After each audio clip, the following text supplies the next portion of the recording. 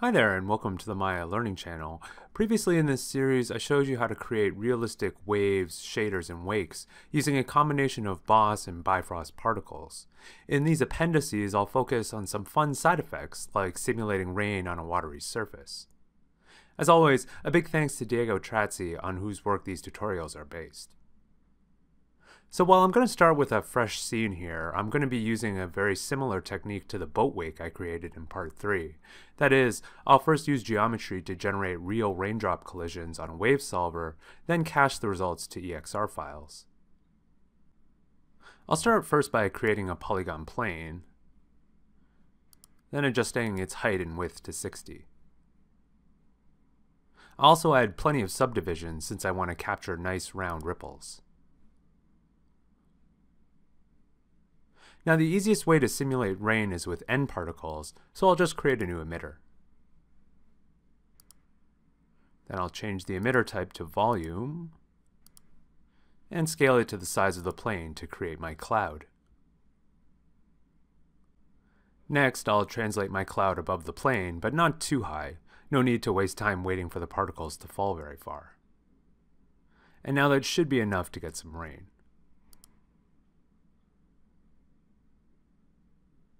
Nice. So since the droplets don't fall very far, I should limit their lifespan to one second so they don't fall forever. I can then adjust the amount of rain by changing the emitter's emission rate. For a light drizzle, I'll bump the value down to 20.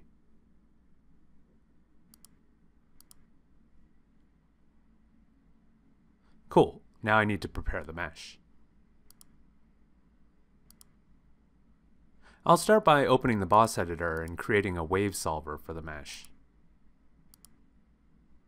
Now, based on previous tutorials, you might try to add the raindrops as influences, but you can't.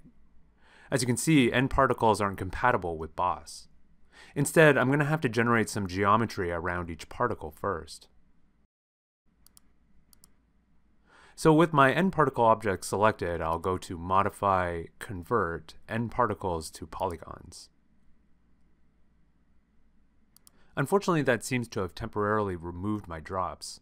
To bring them back, I'll go to the N particle shapes output mesh section and turn down the threshold value. This reduces the smoothness requirement for generating meshes, thereby making them easier to generate. Now I get these blobs on each particle, but they're kind of big, so I'll reduce the blobby radius scale. That's better. Of course, they still don't really look like raindrops, but that's okay. I'm only interested in the collisions they make with the surface. Which I can now do by adding them as a wave influence.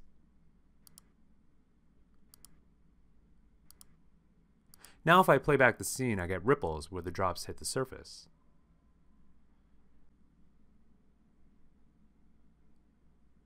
I'll just make them more obvious by bumping up the amplitude value.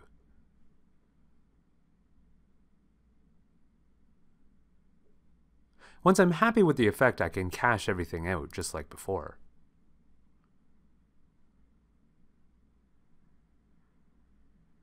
This creates two cache files in our cache folder.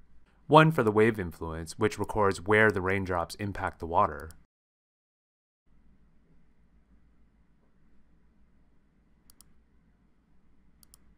And one for the wave solver, which records actual ripple deformation.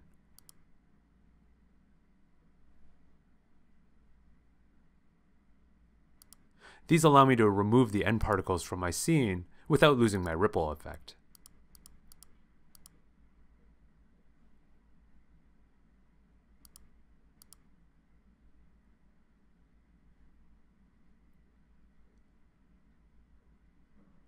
Now this looks kinda cool on its own, but it's still only on a flat plane. Even if I added an Arnold shader to it, we wouldn't be getting something very compelling. However, what if we combined it with our finished ocean from part 2?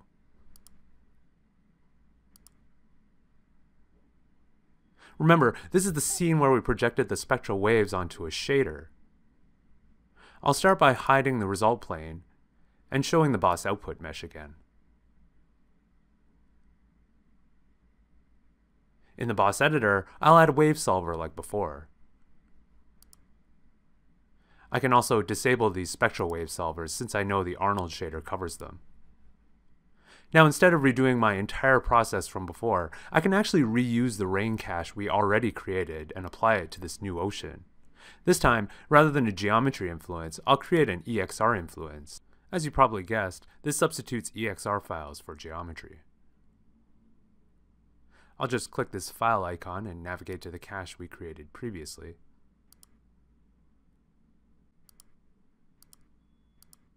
Make sure you select the Boss Geo Properties cache, not the Boss Wave Solver cache. Remember, this is the cache that recorded where the raindrops hit the mesh. I just need to adjust the file path. First I'll replace the specific frame number with this generic frame tag, since I want to use all the EXR files.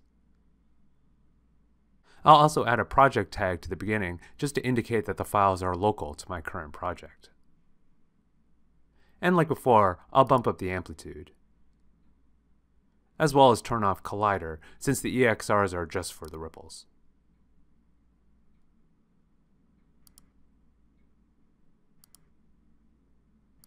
Now play back the scene and you'll see the same rain pattern as our previous scene.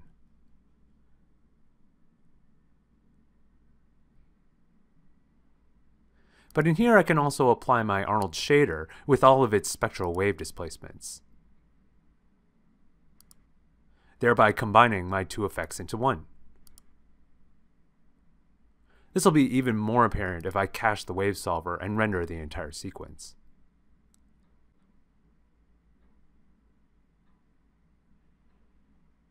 I should note that even though I generated this EXR cache by doing it for real, with the whole N particle rain simulation, you don't have to go that route. If you prefer to create your own rain pattern in a 2D compositor or by some other means, it'll work just as well. Speaking of EXRs, we can also use a compositor to define where we don't want ripples to show up. So suppose our water was inside some kind of shelter with a circular hole in the roof. We would only want ripples in the non-roofed areas, right? I can achieve that using an EXR collider where red denotes where ripples are allowed. Then I can apply it as a second EXR influence.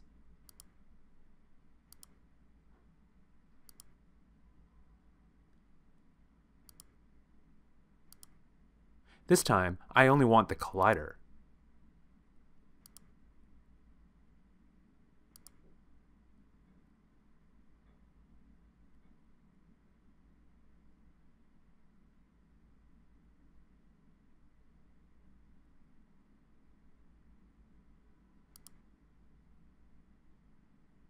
And sure enough, the ripples only appear in my red circle. By default, the boundary of this area is pretty hard though, but I can soften it using the wave solver's decay width. Increasing this value widens the area of decay from the center of the sim to the boundary.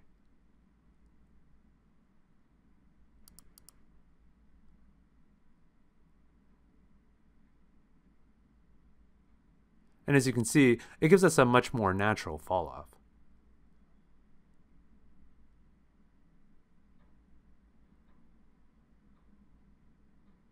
And that's a wrap for rain. But if these types of collision tricks interest you, be sure to check out my next video, where I'll use them in shallow water to generate capillary waves.